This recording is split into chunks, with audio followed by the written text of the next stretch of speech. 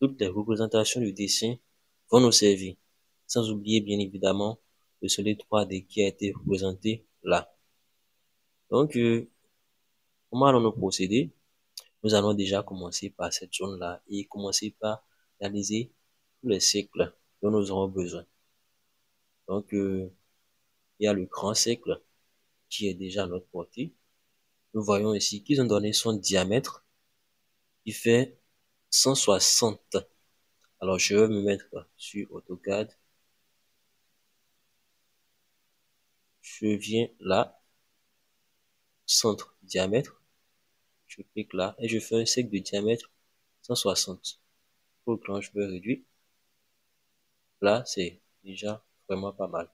Je vais retourner sur mon dessin. Je vais, euh, là, je vois directement un cercle là, cercle de diamètre 110.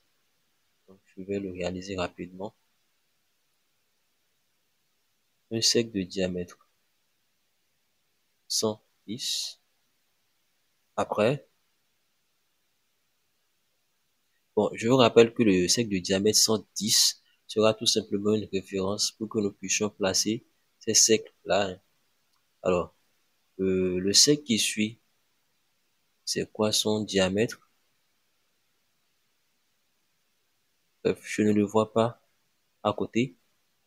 Je vais prendre les deux petits cercles qui sont là. Sur ce dessin également, il n'y a pas le diamètre. Donc, je vais essayer de voir sur les autres dessins.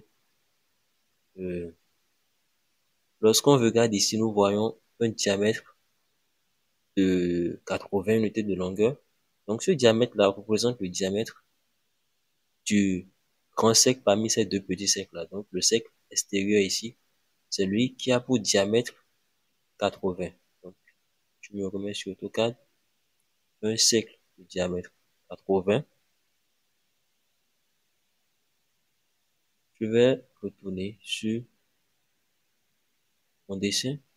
Alors, lorsque j'observe, ici, j'ai un cercle de diamètre 70. Donc, le cercle de, de diamètre 70, oui, je pense que c'est lui qui est là. C'est lui qui est là. Donc, nous allons rapidement le réaliser.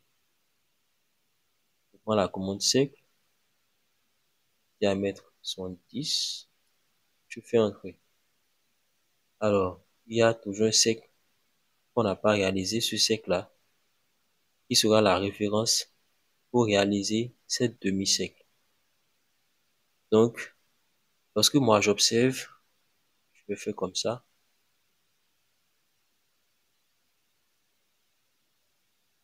Donc, lorsque moi j'observe, je pense que cette distance-là est égale à cette distance voyez un peu? Donc, je vais faire comme ça en attendant.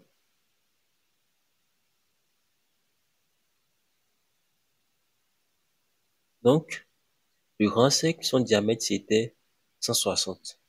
C'est bon? Ça, je vais oublier ça d'abord. Ce cercle-là, son diamètre, on a trouvé que c'était 80. Et ce cercle, son diamètre, c'est 110. Alors, je vais faire 110 divisé par 2 pour trouver le rayon. Ça va donner euh, combien déjà? 55. Et je vais faire 80 divisé par 2, ce qui va me donner à ce niveau 40. Donc 55 moins 40, ça fait 15. Retenons les 15. Ici, je vais faire 160 divisé par 2 pour trouver le rayon de ce grand cercle. Ça va me donner 80. On est d'accord, j'espère. Donc, comment trouver le rayon de ce cercle-là Je vais faire 160 moins les 15 que je viens de trouver ça me donne 65. Donc, je vais mettre ici sur AutoCAD et faire un sec de rayon. Bon, rayon 65. Je vais aller sur rayon.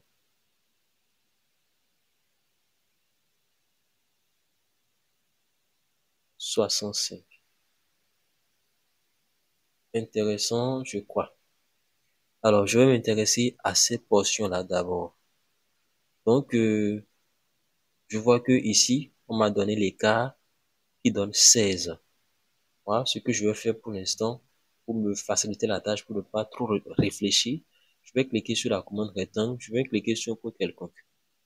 Alors, je vais écrire 16. J'appuie sur Tab et je me dirige seulement vers le bas. Bon, là, je vais prendre peut-être, euh, disons, 50. Que nous ayons tous la même chose. Alors, une fois que j'ai pris les 50, je vais cliquer sur lui, déplacer. Donc, je vais cliquer sur son centre. Vous voyez, sur son centre. Et je viens le mettre quelque part là. OK. Une fois que ça, ça a été fait, je vais prendre la commande ajuster. je fais comme ça, comme ça. Alors, je vais encore prendre la commande ajuster et enlever cette portion. Je fais CTRL S1 pour enregistrer mon dessin. C'est jamais. Alors, je vais retourner sur mon dessin. Là, je vais m'intéresser au rayon de ce cercle. Là, le rayon, c'est 8. Voyez un peu. Donc, je vais retourner sur AutoCAD et faire un cercle de rayon 8 à ce niveau-là. Donc, euh, bon, je peux faire un truc comme ça. Hein. Je vais faire 8 quand même. Une fois que ça a été fait, je vais bien zoomer. Je vais prendre la commande ajuster. Ou plutôt même, je vais prendre la commande effacer d'abord. J'enlève ce cercle-là. Carrément. Je prends la commande ajuster. Je fais comme ça. Je fais comme ça. Comme ça. Je prends la commande effacer pour enlever la portion qui reste. Alors, je vais cliquer là. Puis cliquer là et là. Je vais réduire un peu vous voyez. Je vais sélectionner tout simplement cette portion-là. Je viens ici, je vais cliquer sur joindre. OK. Je vais réduire le dessin. Alors, je vais cliquer sur cet élément. Je vais cliquer sur la commande réseau polaire. Une fois que j'ai cliqué sur réseau polaire, je vais venir ici et cliquer sur le centre. Ah, ça me donne six éléments. Moi, je n'ai besoin que de quatre éléments. Donc, je, clique 4, je fais entrer.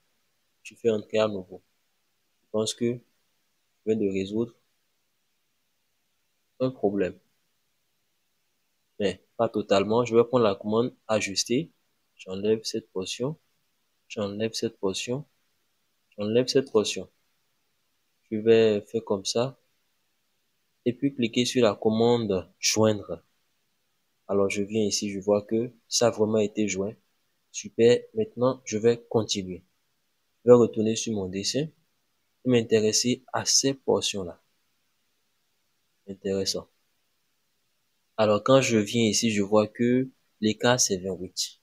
Alors je me remets encore sur AutoCAD tranquillement. Je fais un rectangle. Je vais cliquer sur un point quelconque là. Alors, je vais écrire 28.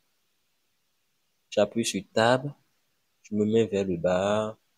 Là, on avait écrit 50, je crois. 50, c'est bon. Alors, je vais le prendre, le déplacer. Je le prends du centre et je l'amène là. Vous voyez? Maintenant, avant de travailler, je vais le sélectionner. Je vais prendre la commande rotation. Donc, je vais venir cliquer sur le centre ici et je vais le roter de combien déjà 45 degrés. C'est bon. Une fois que ça a été fait, je vais prendre la commande sec. Je vais venir sur mon dessin d'abord. J'ai d'abord un petit cercle de rayon de diamètre 14.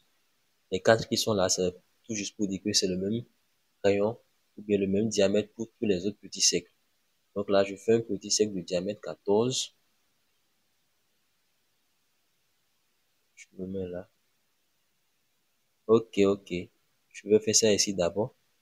Diamètre 14. Et je vais faire un autre cercle. Ici, vous voyez, lui, m'a donné son rayon qui fait 14. Donc, euh, bien sur AutoCAD. Lui, d'abord, je vais l'emmener de l'autre côté. Bon, je vais le roter. Hein. à 45 degrés comme j'ai fait pour le rectangle. Et c'est là que je vais prendre maintenant la commande centre cercle avec les paramètres centre rayon. Là, je fais un cercle de rayon 14. Une fois que ça a été fait, je vais zoomer sur la partie. Je vais prendre la commande ajuster. D'abord, j'enlève cette zone. J'enlève celle-ci. Bon, j'enlève celle-ci également. Je viens enlever tous ces débris-là. Alors, j'enlève également cette zone. Je prends la commande effacer. J'efface complètement ceci. Alors, qu'est-ce que je vais faire maintenant? Je vais venir ici, là où il est écrit dessin. Je vais cliquer. Je viens ici sur contour. Une fois que j'ai cliqué sur contour, je vais cliquer sur OK tout simplement. Alors, je viens ici. Vous voyez là où je suis, quelque part à l'intérieur quand même. Vous allez cliquer. Une fois que vous avez cliqué, vous allez faire entrer. Alors, je vais sélectionner l'élément. Déplacer d'abord. Voilà, je le déplace à 10. Et ce qui était là, je vais effacer. Et lui, je le ramène. Déplace.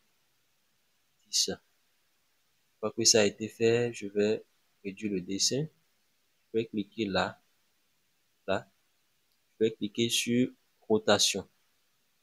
Alors, je vais cliquer ici.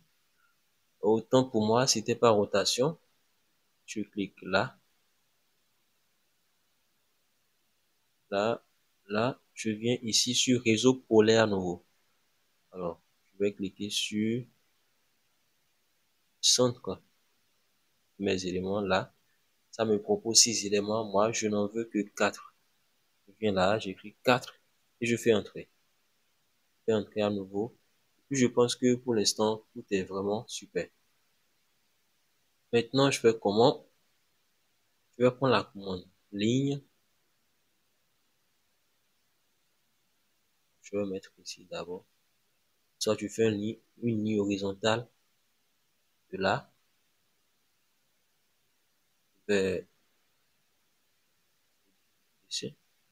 Donc assurez-vous tout simplement que la ligne descende, que la ligne soit plus longue que le, que le diamètre du grand sec. Une fois que ça a été fait, je vais la sélectionner et la déplacer. Donc je vais la sélectionner du milieu et la mener au centre de mes cercles que ça a été fait, je vais cliquer sur elle, je vais cliquer sur rotation.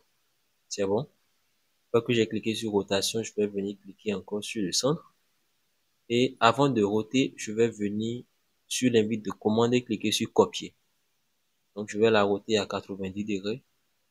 On va que ça écrit 90 degrés, vous voyez. Une fois que c'est bon, ça va rester là comme ça. Alors, je vais revenir sur mon dessin. Je pense qu'en ce qui concerne cette zone-là, j'ai vraiment tout fini. Hein.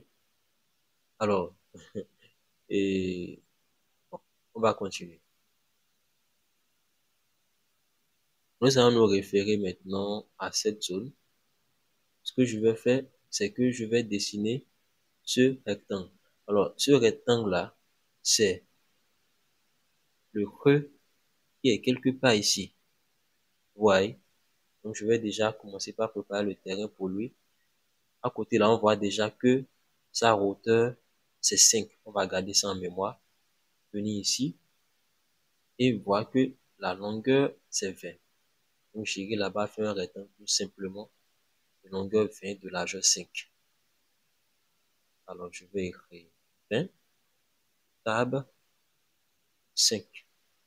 un trait. Tellement petit je vais le déplacer de là à quelque part ici, hein. tranquille.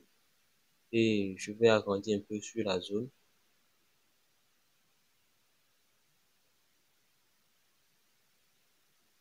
Je vais le roter. Bon, je peux cliquer quelque part là. Hein. Alors je vais appuyer sur copier avant de le roter. 90 degrés à nouveau. Puis je le prends, je vais le déplacer. Je le déplace de là à ici. Une fois que ça a été fait, un zoom vers l'étendue. Ok. Je vais revoir rapidement s'il y a des choses que je dois préparer à nouveau. Pas encore. Je pense que ce à quoi je vais m'intéresser maintenant, c'est comment passer à la 3D. Donc nous allons commencer les extrusions en fait. Je vais venir sur AutoCAD. Je vais prendre cet élément-là et le copier même le déplacer. Je vais le déplacer. Je vais cliquer là. Je vais déplacer, amener, je vais cliquer sur, deux, je vais cliquer 250, avec distance de 250. Une fois que ça a été fait, déjà je vais venir ici, au niveau de général, et aller sur, ou plutôt ici, au niveau de vue non enregistré, et cliquer sur isométrique SE. Une fois que ça a été fait, je vais retourner sur mon dessin. Alors, la zone que je viens de déplacer, c'est elle qui se représente ici. Voyez un peu? Elle a été creusée. Donc, je veux juste voir le diamètre du creux. C'est ça qui est ici. C'est 60. Un sec diamètre 60.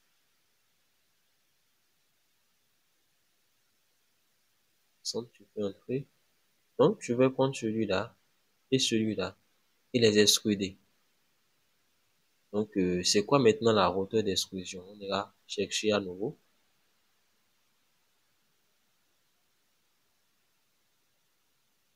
La hauteur d'extrusion, on va voir ça ici. C'est 11 nous allons écrire 11 et entrer. Une fois que c'est bon, je vais juste aller sur, sur réalisme que vous voyez ce dans quoi nous sommes déjà. Alors, je vais prendre la commande soustraction. Je vais cliquer là. Je vais faire entrer. Je clique ici. Je fais entrer. On avance petit à petit. Maintenant, je fais quoi exactement? Je vais retourner sur mon dessin et puis analyser.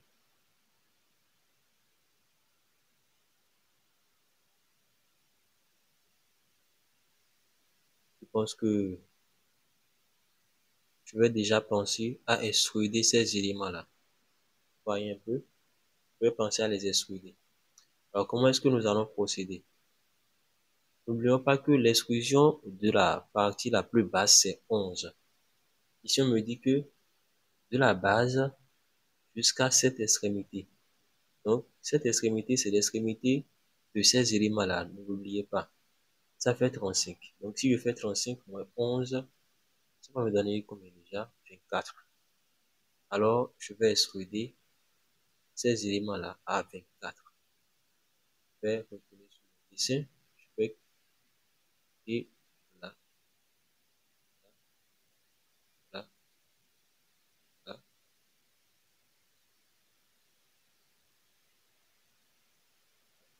je vais extruder à 24. Je vais entrer. Une fois que j'ai fait ça, je vais agrandir un peu. Je vais prendre la commande soustraction. Je clique sur tous les éléments qui sont grands. Je fais entrer je prends tous les autres petits éléments. éléments.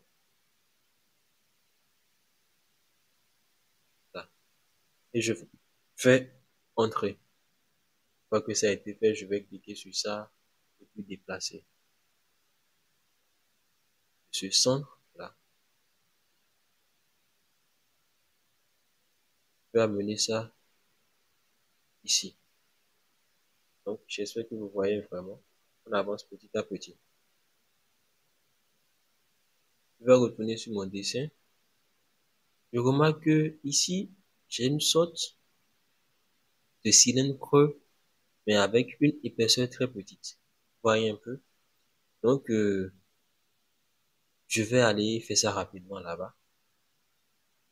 Je n'avais pas fait le premier cercle là. Le petit cercle là, autant pour moi. Oui, c'est quoi déjà son diamètre? Euh, Je n'étais pas intéressé à ça parce que disons que ça m'avait échappé. Donc, euh, c'est quoi son rayon? Je vais réfléchir rapidement et voir ce que ça donne.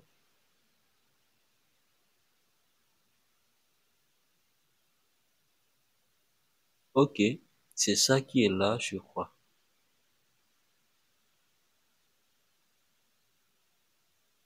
Son diamètre, c'est 30. C'est bon? Par conséquent, son rayon sera euh, comme déjà 15. Je vais aller sur AutoCAD. Je prends la commande sec. Voilà, c'est centre diamètre. Le diamètre, c'est 30. C'est bon? Que ça a été fait, je vais sélectionner sur ce gars-là. Et celui-ci également. Je vais les copier. Les copier, c'est plus prudent. Les copies, je les amène là. C'est bon? Les deux, je vais les extruder c'est quoi déjà l'épaisseur? L'épaisseur d'exclusion, je vais réfléchir à propos également. l'épaisseur d'exclusion, je pense que serait sûrement 5. C'est ça qui est ici. J'espère que vous avez vu? Ça qui est là. Ça fait 5. Donc je vais sur AutoCAD, j'écris 5, je fais trait. Une fois que c'est bon, je prends la commande soustraction je clique là, je fais entrer, je clique sur l'élément de l'intérieur, je fais entrer. Puis je vais le laisser là tranquillement et réfléchir aux autres d'abord. Alors comment est-ce que ils ont procédé pour la suite? Nous allons vraiment analyser les dessins attentivement et voir. Donc, nous avons le 70 qui est de ce côté. Vous voyez, le 70 qui est de ce côté et le 80 qui est tout juste de ce côté-là, c'est l'extrémité du diamètre 80 là. Alors je vais faire ça également. Je vais aller sur AutoCAD, sélectionne celui-ci, ici, je les copie. Je les amène là. Je les extrude. Le problème maintenant, je pense que ce serait leur hauteur d'extrusion. Je vais venir et réfléchir. ça fait 10. C'est ça qui est ici. Finalement, c'est pas un problème. Déjà là. Donc, euh, je viens sur AutoCAD, j'écris 10. Je fais entrer. Je prends la commande soustraction. Je clique sur le rang. Je fais entrer. Donc, moi, je clique sur le rang. Je fais entrer clique sur le petit, je fais entrer. Une fois que ça a été fait, lui, je peux le déplacer. L'emmener en haut ici. Il reste un dernier élément que nous allons faire pour terminer le dessin. Un avant-dernier élément. Il s'agit de la zone du bas. Alors, Comment est-ce que nous allons procéder pour ça? Je pense que c'est déjà bon. Nous avons cette distance-là de 60. Ça peut aller 60, oui, de 60. Alors, nous allons venir ici. Je vais faire un cercle de diamètre 60. Une fois que ça a été fait, je vais le prendre avec le grand. bon. Et le, le copier. Je le copie de là à là. Parce que c'est déjà bon. Alors, comment procéder? Je vais les extruder. Je vais les extruder. Maintenant, le problème, c'est la hauteur d'extrusion. Nous allons la calculer. Cette hauteur-là, c'est 11. Voyez un peu. Je vais l'enlever à 39. Bon, ça me revient à 28, je crois bien. Donc, euh, je vais enlever combien dans les 28 Je vais enlever 10 et 5 dans les 28. Ça peut aller. Donc, euh, ça revient à 28 moins 10. 18 moins 5, ça fait 13. Donc, eux, je vais les exclure à 13. Une que ça a été fait, je prends la commande soustraction. Je clique sur le grand, je fais entrer, je clique sur le petit et je fais entrer. Alors lui, je peux le prendre déjà déplacé de là à ce niveau-là.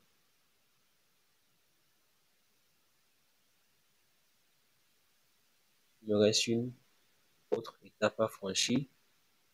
Je vais tout simplement prendre la commande balayage en espérant que ça va marcher. Je vais cliquer sur ce rectangle, je fais entrer et je clique sur cette ligne-là. La direction, ça n'a pas pris, c'est pas grave. Je vais cliquer sur ça, cliquer sur gizmo rotation et le tourner selon le sec vert. comme ça, c'est bon. Je prends celui-ci également, je clique sur gizmo rotation. Je le tourne selon le rouge cette fois-ci. C'est bon. Maintenant, je vais prendre ma commande balayage. Je vais cliquer là. Je fais entrer. Je clique là. Je prends la même commande. Je clique là. Je fais entrer. Et je clique là. Je vais prendre les deux objets. Je vais les déplacer. Depuis le centre de mes cercles. Attentivement. Au cercle. Mais au centre qui est à l'intérieur ici. Une fois que ça a été fait, je vais voir rapidement.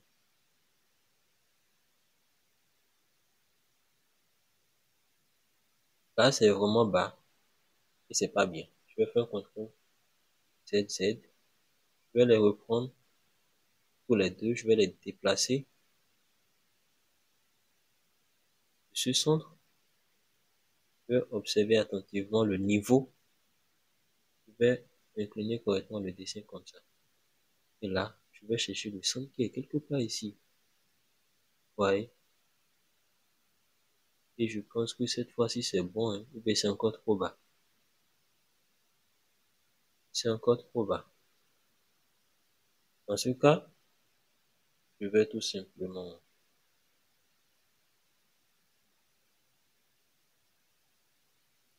amener cet élément-là le déplacer. De là à une base à côté. Et je prends ces deux éléments. Je les déplace maintenant.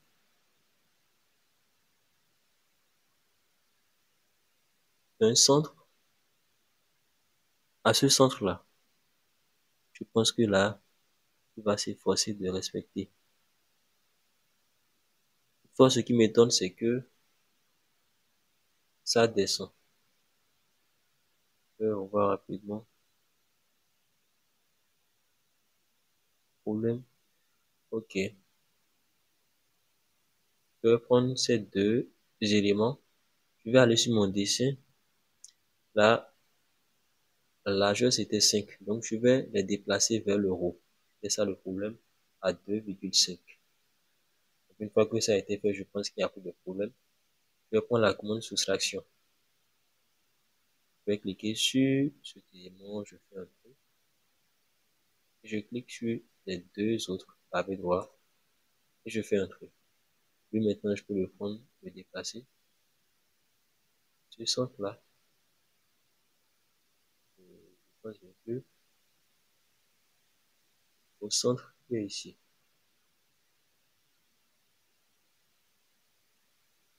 Une fois ce boulot terminé, je prends cet élément, cet élément, je le déplace du centre qui est tout en bas, donc au centre qui est tout en haut ici. Fois que ça a été fait, je pense que le dessin est terminé. Alors, je vais faire un tour rapidement sur le dessin, m'assurer que je n'ai pas commis de bêtises.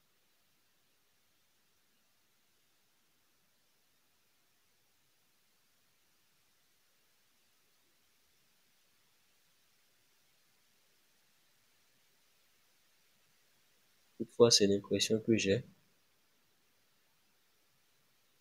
Je pense que j'ai commis une bêtise et je vais rapidement la réparer.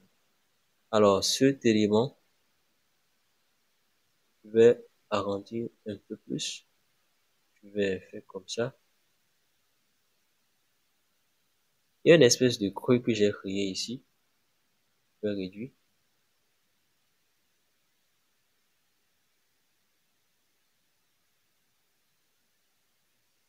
Donc déjà, je vais masquer ces éléments-là parce que ça m'empêche d'expliquer ce que je veux expliquer. Donc vous voyez, il y a une espèce de creux que j'ai créé là, alors qu'il n'y a pas de creux. Donc tout ce que j'aurai à faire, c'est que je vais zoomer. Zoomer. Je vais venir ici sur extruder des faces. Alors je vais cliquer là sur la face que je veux extruder. Et ce que je vais faire, c'est que j'irai chercher la hauteur qui manquait. C'est 5. Ou plutôt, oui, c'est 5. Alors, je retourne sur mon dessin. Je faire entrer d'abord la hauteur, c'est 5. Je fais entrer. Je fais entrer à nouveau. je fais des entrées pour clôturer le tout. Je pense que maintenant, notre dessin est bon. Je faire un contrôle A. Zoom objet. Ces deux-là. Je faire le zoom objet. Et je pense que cette fois-ci, c'est bon. Maintenant, je vais annuler l'isolation des objets que j'avais activé et je réduis. Je réduis considérablement. Je supprime tous les autres éléments. Je fais maintenant euh, un clic sur la commande Union. Je vais sélectionner le tout. Fais entrer. Je clique là, je fais un zoom objet. L'une des choses qu'il ne faut pas oublier lorsqu'on dessine, c'est que les détails peuvent être dispersés sur toutes les parties du dessin. Vous voyez? Lorsque j'observe cette partie-là, je vois que ce creux est prolongé jusqu'à la base. Alors que moi, dans mon dessin, je n'ai pas prolongé ce creux-là jusqu'à la base. Vous voyez, le creux ne sort pas. Raison pour laquelle nous allons rapidement régler ce problème.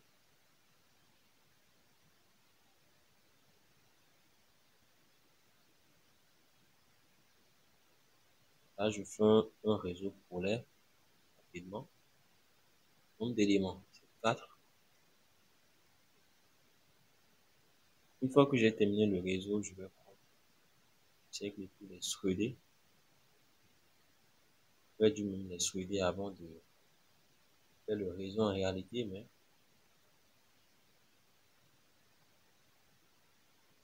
je ne tâche plus un contrôle A. Et là, je vais les threader vers le bas fois que c'est bon, je vais prendre la commande. Je clique sur le point élément, je fais entrer sur tous les autres cylindres.